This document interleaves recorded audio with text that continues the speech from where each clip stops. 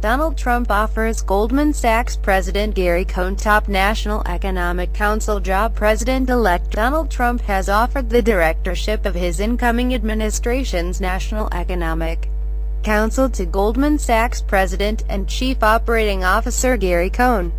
According to media reports Friday, CNBC broke the news in a tweet Friday morning, and said it was unclear if Cohn would accept the post.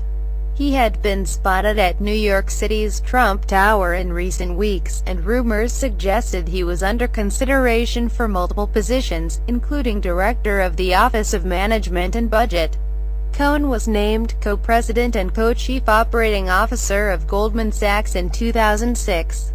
Prior to Friday's news, reports had surfaced suggesting he was entertaining the idea of leaving Goldman after around a quarter century with the company. In his new role, Cohn would play a key role in advising Trump on domestic and international economic affairs.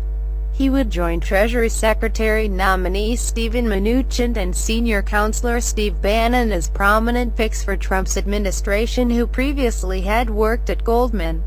Cohn donated more than $33,000 to the National Republican Congressional Committee in 2015 but is a registered Democrat who previously contributed to the presidential campaigns of Barack Obama and Hillary Clinton. Prior to Friday's news, Trump was already receiving scrutiny for surrounding himself with Goldman employees, especially after hitting Clinton and primary rival Sen.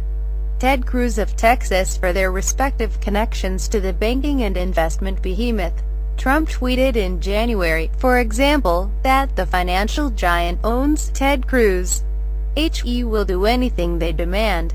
Not much of a reformer, Trump said, during the general election. Trump's campaign ran an ad briefly showing Goldman CEO Lloyd Blankfein as Trump in a voiceover vowed to replace the failed and corrupt political establishment. So Cohn's appointment would be unlikely to sit well with those already frustrated by Trump's leadership choices. A Pew Research Center report published Thursday indicated only 40% of the public approves of the president-elect's cabinet choices and other high-level appointments, 71% approved of Obama's selections. Meanwhile, and 58% approved of those made by former President George W. Bush.